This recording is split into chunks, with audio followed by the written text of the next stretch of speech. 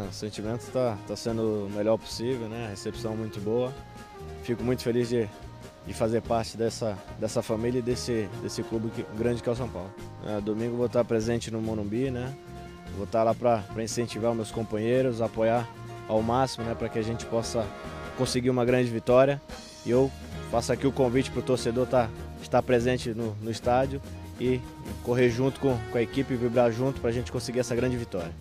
Bom, torcedor São Paulino, né? Nação tricolor paulista, pode ficar muito feliz que eu, que eu cheguei para fazer história e para conquistar muitos títulos. Valeu! Eu quero esporte interativo na minha TV.